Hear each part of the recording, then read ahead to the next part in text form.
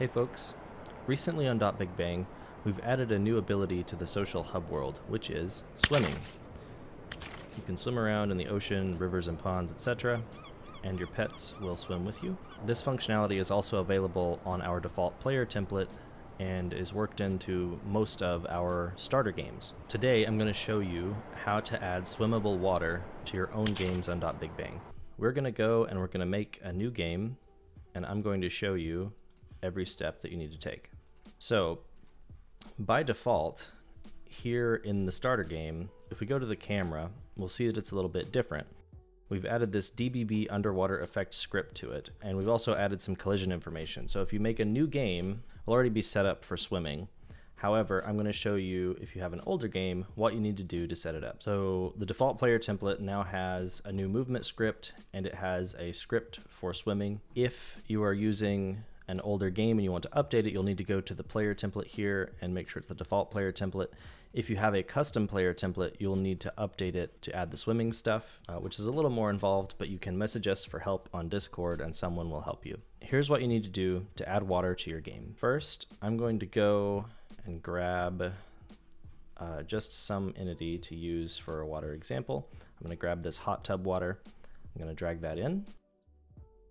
So now I'm going to scale this up big. So right now, of course, if I go up to this, it's solid and opaque. So what I'm going to do now is I'm going to select it. I'm going to go to the voxel object and make it transparent, first of all. I'm going to go to collision. I'm going to leave it on voxel object, but I'm going to change it to a trigger.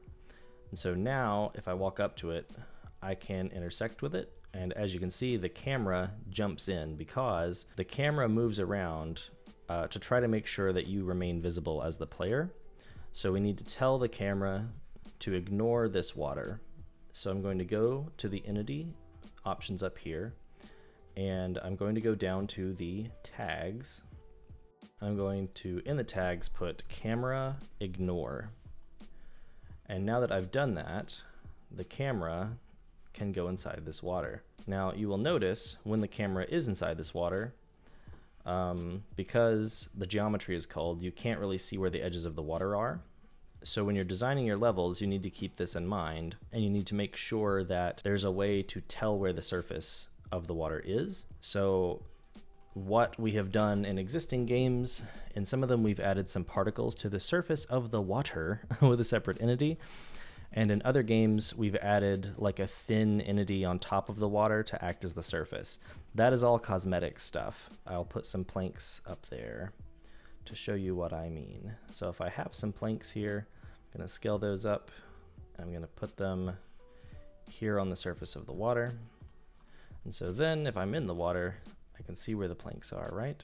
So I've copied my water and I'm going to see, I think you have to be an administrator to scale something non-uniformly. Uh, let me see if there's something I can use alternatively here. This will work. So here's a little entity. We're going to use this to be the surface of our water. So what I'm going to do is I'm going to scale it up. I'm going to put it here on the surface, right? And then what I'm going to do is I'm going to also make this camera ignore. I'm going to make this one, actually, you know what? I'm going to fully make this one no raycast. Camera ignore means that the camera's raycasts will ignore it. No raycast means that every raycast from the camera, the player, anything else, it will be as if the entity isn't even there. And in fact, I'm going to remove the collision component because we don't need it. I'm going to make this uh, transparent. So now when we're in the water, we can see that there is a surface on the top. So how do we have actual swimming is the next question. So we need to let the player know that this water is water. So we're going to go to the tags again and add the water tag. Now that the water tag has been added, we can swim in this water. So we can surface and we can swim around on the surface and we can dive beneath. And so there's our water. Of course, normally you'd have a whole level around this cube with like rocks and bank and whatever you'd have. So I'm going to show you some other things.